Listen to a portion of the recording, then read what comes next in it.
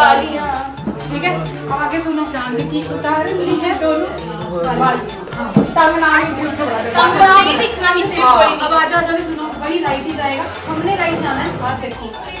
आजा। आजा। आजा। आजा भी हो पूरे आया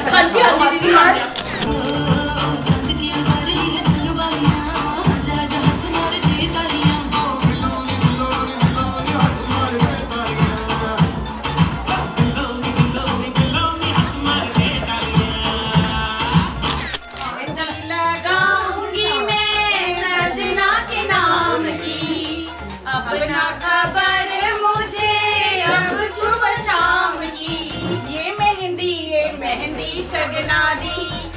ये मेहंदी, ले मेहंदी शगना दी। वो बड़ा गाना गाता यार, एक दूसरा मेहंदी का बड़ा अच्छा गाना है।